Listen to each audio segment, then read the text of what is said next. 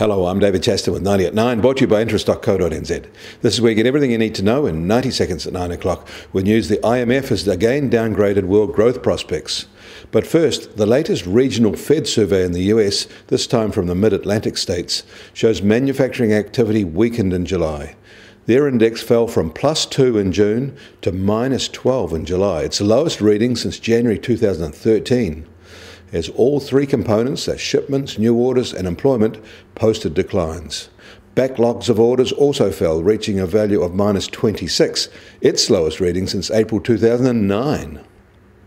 US home sales fell in June, down 1.7%, when a flat result was expected.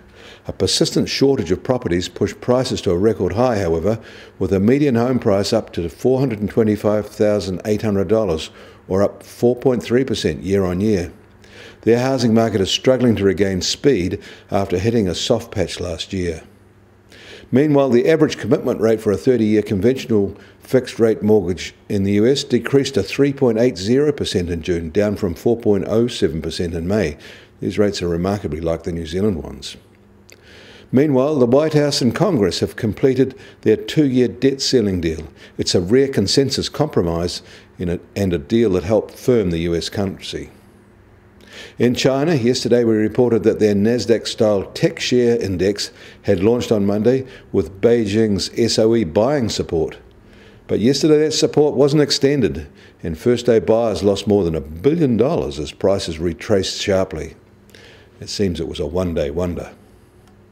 And yesterday, two more private Chinese firms joined the growing ranks of bond defaulters. Meanwhile, China is importing beef and pork at a fast rising pace, replacing lost local production from the African swine flu epidemic in the pig herd. Imports of beef surged more than 60% so far this year to 1,000 so 133,700 tonnes.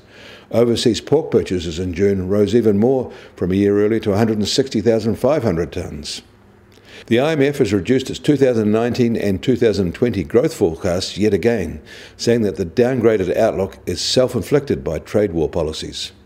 While this latest downgrade is a modest 0.1% in each of the two years reviewed, it comes on top of prior substantial downgrades. The longer the trade standoffs continue, the sharper these will become. No doubt a hard Brexit will be accounted for in the next review. US Treasury 10 year yield has moved up to 2.07%. Gold is down $8 overnight to $1,419 an ounce. And US oil prices are a little firmer again today. They're just over 56.50 a barrel, while the Brent benchmark is also firmer at just over 63.50 a barrel. And the Kiwi dollar is marginally softer today and just touching 67.1 US cents, which is down more than half a cent since this time yesterday. On the cross rates, we're also softer at 95.7 Australian cents.